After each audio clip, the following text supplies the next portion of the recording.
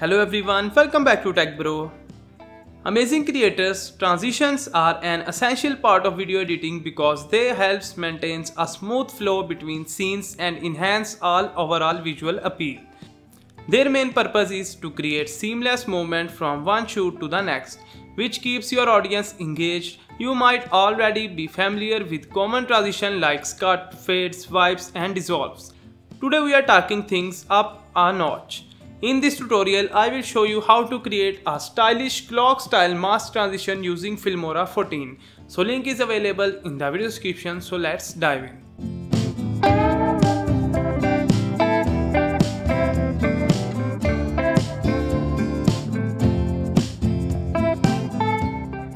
Before we begin, make sure you have downloaded and installed the latest version of Filmora from the official website after logging in, install the software and here is the software interface.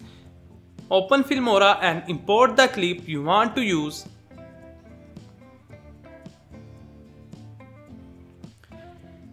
Drag and drop it onto the timeline and start by splitting the video at the beginning of each new location. Next we will create our mask transition. Go to the mask setting and select the circle mask. Adjust it to resemble a clock face, then duplicate this mask clip and place the duplicate on track 3. Go back to the clip on the track 2, scroll down and invert the mask. Now select the clip on track 3, move the playhead to the beginning of the clip and increase the scale until the footage from track 1 is completely visible. At the end of the clip, reset the scale back to the normal to make the effect more realistic, select the clip on track 3, go to the basic settings, scroll to the shadow option and enable it. Set the shadow type of projection, the distance to 8, blur to 5 and opacity to 65.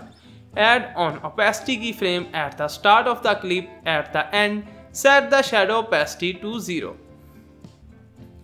Now let's add a zoom out blur effect. Go to the effect panel and open Boris FX then blur and apply the BCC radial blur to the track 3 clip.